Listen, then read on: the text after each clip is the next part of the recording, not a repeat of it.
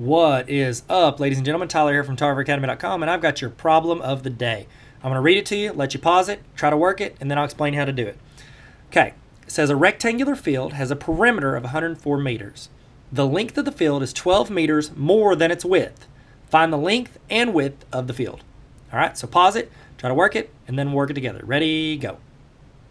And you've resumed. So now let's Let's try to work this problem. Okay, you see this problem like, or a uh, variation of this problem a lot, especially on standardized tests, ACT. I, you can almost guarantee you'll get this problem. It's very common.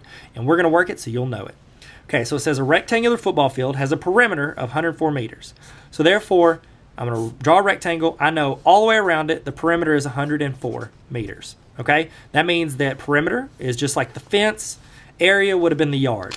We just want the perimeter. Okay, so the formula for perimeter is 2 times the length plus 2 times the width equals 104. Or you can just say like length plus length plus width plus width equals 104. Doesn't matter. Okay, either one's going to get your answer. All I'm doing is combining things. Let's just do this one right here because it looks easier. You just do the length twice, width twice. So you got your length, your length, your width, your width. All right, so let's look at the problem. It has a perimeter of 104 meters. The length of the field is 12.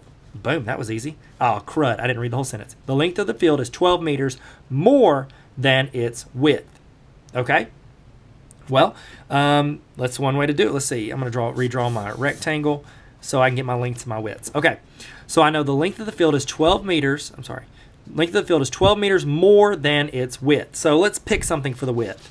We'll say the width is X. Okay, well, let's just put width as W. Say width is W, that makes sense. Okay, so the width is W.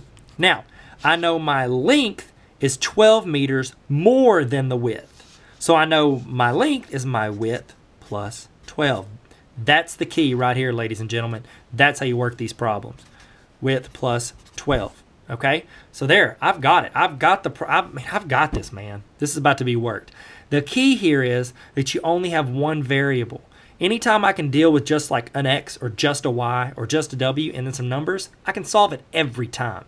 Okay, so let's go back to this right here. We add our two links together, our two widths together, and we set it equal to 104. So let's try it out. Ready?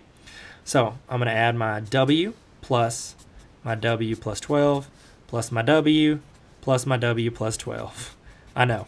It's long, but make sure you get it right. We know our perimeter is still 104. Now I'm just combining like terms. W plus W plus W plus W. So I've got one, two, three, four. So that's 4W. I'm going to mark it out so I don't count them again. I can add my two 12s together. It'll be plus 24 equals 104. Wrote that wrong. Okay, let's solve for W. We get to subtract 24 from both sides. It Goes away. Bring down my 4W. That would be 80. Then all I do is divide by 4. W equals 20. And then you're done. Just kidding. Read the problem. Find the length and the width of this field. We know the width is 20. What do I know about my length? It's my width plus 12. So 20 plus 12 is 32. Found both the answers they want, and you're rocking and rolling. Glad we got our learn on. If you could, check me out. I'm at Tyler Tarver on social media, and tarveracademy.com has a ton of math videos and uh, just just go learn, man. Just learn it up. Please subscribe. Peace.